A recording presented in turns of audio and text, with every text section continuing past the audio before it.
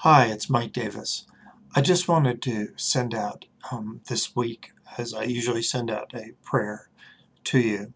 Thought this week I would attach a link to this video. Um, I wanted to say to you that I'm very proud of each of you and of the um, joy of working with you. I hope that during this holiday season you'll find comfort and blessing, and that it may be a very special and rich time of year for each of you and for your families.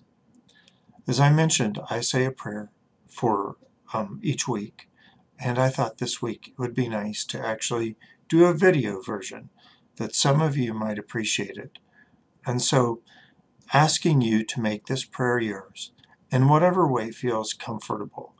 If religion is a comfortable thing, then keep it in the form of a prayer. Otherwise, know that it's just a wish for good things for you. Let's pray.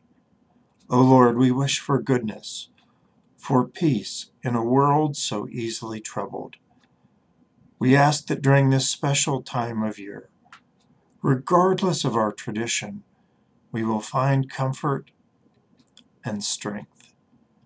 We pray that we will be reminded of the power of love to sustain faith in goodness and hope for the future.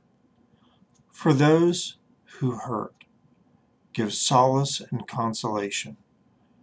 Nurture and care for them, and tend to the deep wounds they feel.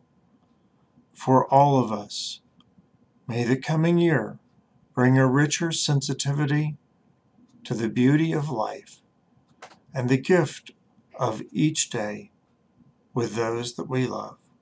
Amen.